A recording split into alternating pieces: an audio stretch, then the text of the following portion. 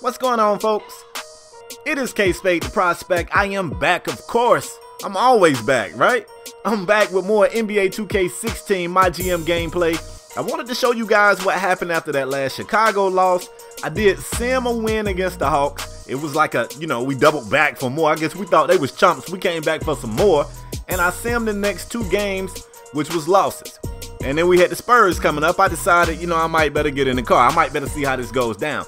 Your boy Larry Sanders came in my office, right? I was thinking he was gonna come in there and realize that he was stealing money from us because he really ain't producing that good. But your boy decided he wanted some more playtime and I can kind of understand. You, I mean, everybody want to play. I want my players to want to play. So right now, we have persuaded Larry that if he just keeps producing, we're to try to get him a little bit of more PT. And we may. I don't know, man. I, I really got a conundrum going on with my bigs. But enough of that. Let's get into some gameplay. Like I said, man, we got the Spurs tonight, and we are on the road taking on these Spurs in San Antonio, Texas.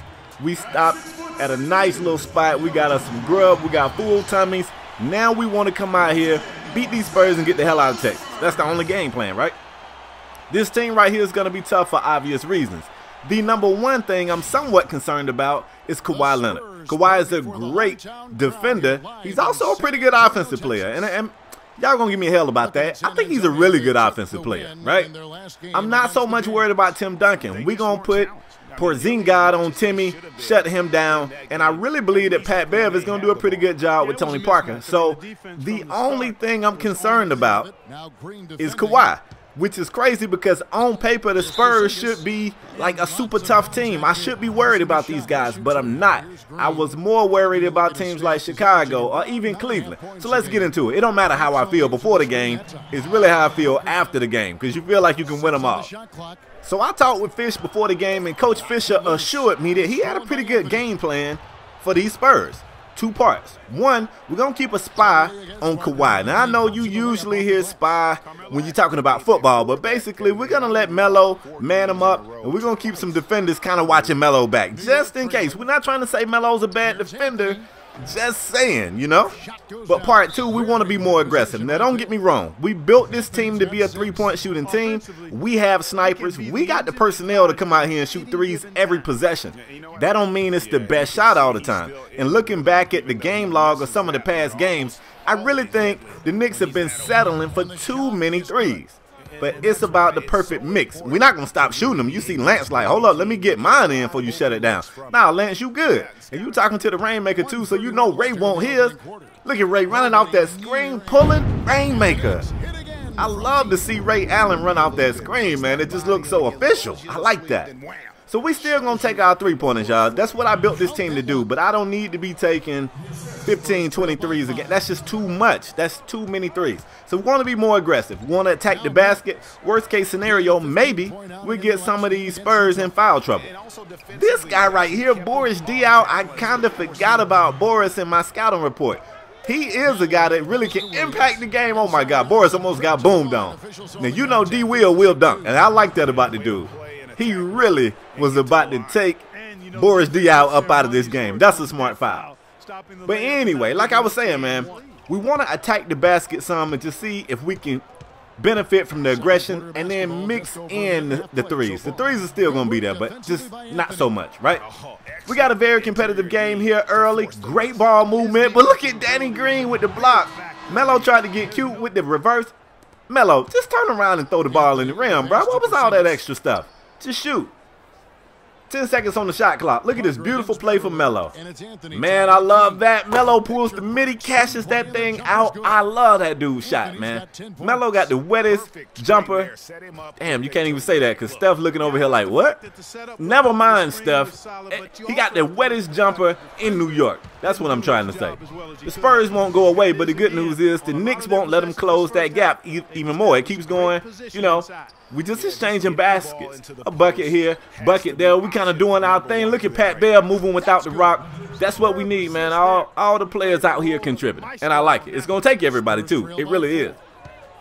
So you remember I told you, if I get production from Ray Allen, if I get production from Derrick Williams, and if I get production from Lance Thomas, I like our chances against anybody. And against the Spurs, we're going to need all those players to contribute. Look at this right here. Melo, That pick and roll didn't really work real right there. Melo realizes he got Tim Duncan ISO. Let me get some of this. He eventually draws the double team. A nice pass to Kyle Quinn who bangs that down. Anytime Tim Duncan goes one-on-one -on -one with somebody who can dribble, you're going to cause the defense to double team. They know Timmy ain't guarding nobody, y'all. They know it. Tony Parker getting in the game like, oh, so you're not worried about me? Tony's so emotional. Three-point game, y'all. Lance Thomas goes back to the basket. Here comes the double team, and I don't know how that pass got in there, but it did. The pass found its way to Larry Sanders. Larry goes up with two hands because he want more playing time, right? Can't go up with one hand and risk something happening when you're trying to get more PT. Derrick Williams moving without the ball. He went on a spell in this game where he just kind of spazzed out. Two seconds on the shot clock, stepping up, taking a, a ugly contested shot and cashing it out. So I said, oh, okay. I see Derrick got his lucky rabbit's foot today. Cool. Galloway, dribble drive, kicks it back out. Derrick cashing out the midi. Okay. Now, I ain't tell y'all, but I've had Derrick Williams in my office about playing time too, so I really got an issue. But look at Derrick. He just temporarily kind of got on fire. He was being defended well, but he still was cashing out. And speaking of cashing out, man, Ray Allen in that corner, you know how that go. You know how that goes. You can ask the Heat how that goes. The Spurs still fighting though, trying to stay in the game, man. The Knicks had ran off for a minute, so the Spurs look to respond. We go into the half. It should have been 10, but they do respond right there then. It's an eight-point game at the half. The thing you're going to see, the Spurs are shooting like crap from outside. I mean, the Knicks are shooting from outside, but still not a great percentage, about 37, 38%, but it was less than 20% for the Spurs, and that just may be the difference. Melo gets a tough running floater to go. And you know what? If we getting the kind of lucky shots we getting, these boys in trouble, man. They in trouble. Kawhi looking to turn up. I fully expect the Spurs to go on a run, and I'm thinking the run is going to start right around here. Pat Bev says, that's bad defense. Pulls the three, cashes the three. You know, if he had a missed that, I'd have told Derek Fisher to pull him because it don't sound like he listening. But when they go in, ain't nobody mad. David West right here at the top of the key. Nice play. Tony Parker off the screen looking like Ray Allen a little bit. Okay. Six-point game, folks. Knicks better get right because you know when the Spurs get it rolling, they get it rolling. Pat Bev being defended pretty much half court. Gets it down low to Porzingis. Porzingis, the fader cashing it out. So, hey, man, these teams are just exchanging blows, kind of stealing moves from one another. Melo with the pump fake goes to the basket and dunks on the big fella. Y'all got me feeling some kind of way when Melo dunk now because y'all be like, you know Melo don't really dunk like that. I know it. Y'all know it. Melo knows it, but shh. 2K doesn't know it, apparently. So let Melo be great in this series, yo. Look at this. Pat Bev with some great defense. I don't know what the hell Tony Parker was thinking right there. Uh, I don't know. That was just an awful take, man. But Melo has the cushion for the midi. You know his midi is money. He cashes that out. Folks, we back up to a 10-point lead right here. Pat Bev, dribble drive. You get so deep into the paint that the defense don't know what to do. Just hand it off to the big and let him finish. That's easy. I mean, that's that's legit easy. Tony Parker right here. Getting the pick, going to the basket, kicking it back. David West couldn't get the shot to go, man. I believe Porzingis actually got out there to affect the shot, and we're going to go oop. Let's go. Melo with the oop from Aaron Afflalo, hanging on the rim, swinging on the rim. We got young Melo. I'm tight. I, why y'all didn't tell me you can't change hair? I wanted to go put some cornrows in Melo head, man. I was going to take him back to the old days. You can't change hair. Come on, 2K. Brothers don't have the same hairdo forever. You know, we switch it up sometime. Manu Ginobili gets off the bench, tries to give his team a spark. They're going to need it. Kawhi doing the same thing. Nice ISO. I said we would be spying Kawhi, but I guess the spy was slow right there. Kawhi get the basket to go. It's the fourth quarter, man. Melo, Melo, he, he gets going in the fourth. Like, I don't care how bad of the first three quarters Melo have. Something happened in the fourth quarter, and he usually just turns up. So if he does that, I'll take this lead we got right here, and I believe we can hold on to it. Melo right here, slowing it up, getting it up to Porzingis, who goes up with two.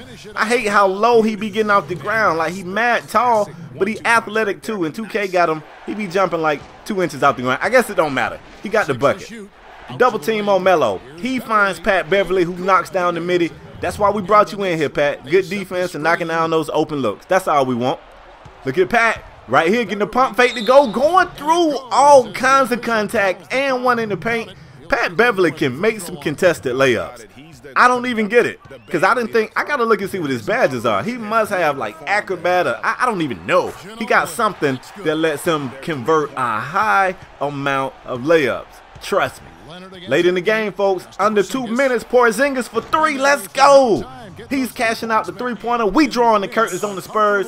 How we losing to the Hawks and beating the Spurs? I guess it don't matter, man. Every team entitled to a bad day.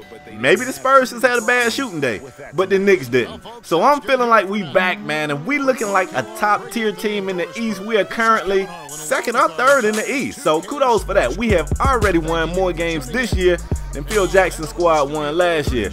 So I'm feeling like the man. But that's all I got for today's video. I hope you guys enjoyed it. If you did, let me get that thumbs up, y'all. And I'm out the next time, alright? Peace.